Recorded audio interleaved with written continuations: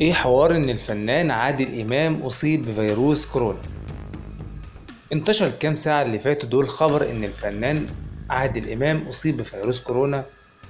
وده اللي خلى اغلب الناس تسأل على الزعيم عادل امام اكبر نجوم الوطن العربي. وفعلا بعد انتشار الخبر كان لازم حد يطلع من عيلة الزعيم ويرد على الخبر ويطمن الناس على صحة عادل امام. وفعلا طلع المنتج عصام إمام أخو الزعيم عادل إمام.